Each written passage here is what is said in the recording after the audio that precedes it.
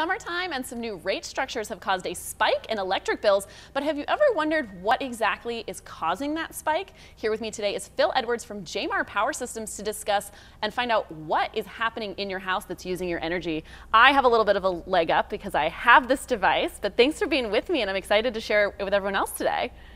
I'm excited to be here. Uh, we, we, put it in what, two, three months ago? Yes, so the device is Wiser Energy and it comes with a Sense app. And why don't you tell everyone what it does? Well, the, the Sense app is basically a device that you install on your electrical panel and it um, keeps track of all your electric usage.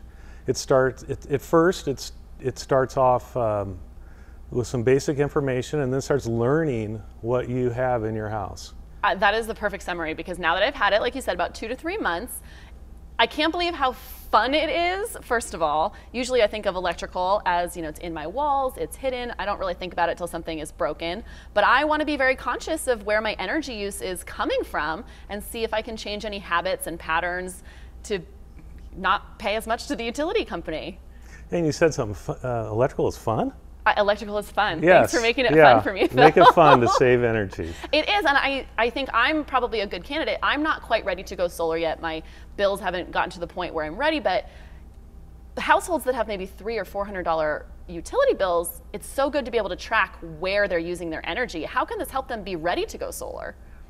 Well, when you go to install a solar system, it's usually based on your previous usage.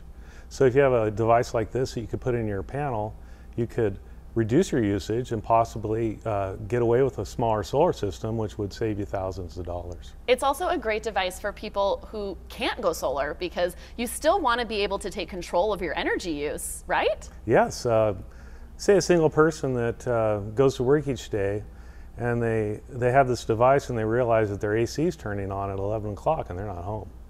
And they can adjust their usage and save that power for for the future. Yeah, you might not know that your thermostat is either programmed incorrectly or broken and you can take control of those features. I know I've used it to switch doing my laundry from the evenings to the morning and I'm finding out that I'm saving money that way. So take control of your electricity usage and discover what's using your energy today with the Wiser energy device and the Sense app. Call Jamar Power Systems, have them come out, do a quick installation and you can get the device today at 619-333-8662.